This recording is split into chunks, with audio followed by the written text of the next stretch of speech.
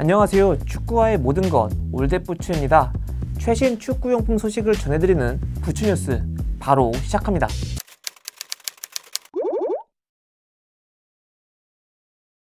해외 축구 선수들 사이에서 축구화가 찢어지는 사례가 발생했습니다. 최근에 축구 선수들이 직접 인증한 축구화는 X 스피드 플로 5.1입니다.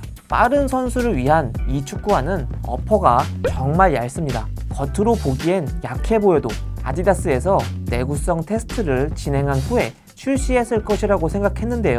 에버턴의 닐스 은쿤쿠와 산토스의 루카스 브라가는 자신의 SNS에 축구화가 찢어진 것을 공개했습니다.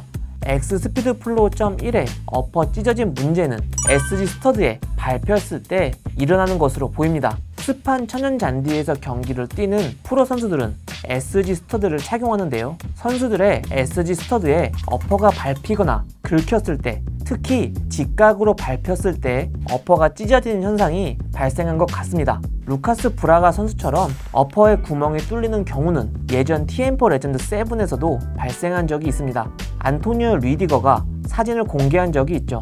이런 경우는 upper의 두께가 어느 정도 두꺼워도 SG stud에 밟히면 발생하는 걸로 보입니다. 또한 2018년 그라니트 자카는 경기 약 19분 만에 축구화가 터지기도 했습니다. 언더아머에서 제작한 축구화인 마그네틱으로 신고 있었는데요. 이 축구화는 저도 신어봤지만 진짜 어퍼가 얇습니다.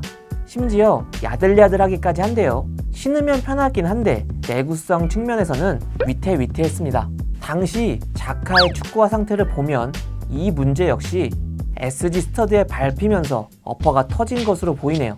이런 문제들은 주로 SG 스터드에 밟혔을 경우 그리고 축구화가 얇을 경우에 발생하는데요. 축구화가 가벼워지고 얇아질수록 필연적으로 발생할 수밖에 없는 문제입니다. 우리나라의 일반인들은 SG 스터드를 신을 상황이 거의 없다고 봐도 되기 때문에 그나마 다행인 것 같습니다.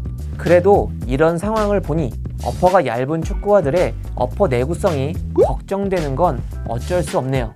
프로 선수들이 신은 축구화들의 어퍼 찢어짐 현상, 여러분의 생각은 어떠신가요? 오늘 소개한 소식은 여기까지입니다. 유익하게 보셨다면 구독과 좋아요 꼭 부탁드릴게요. 그럼 올댓부츠는 또 다른 흥미로운 소식으로 돌아오겠습니다.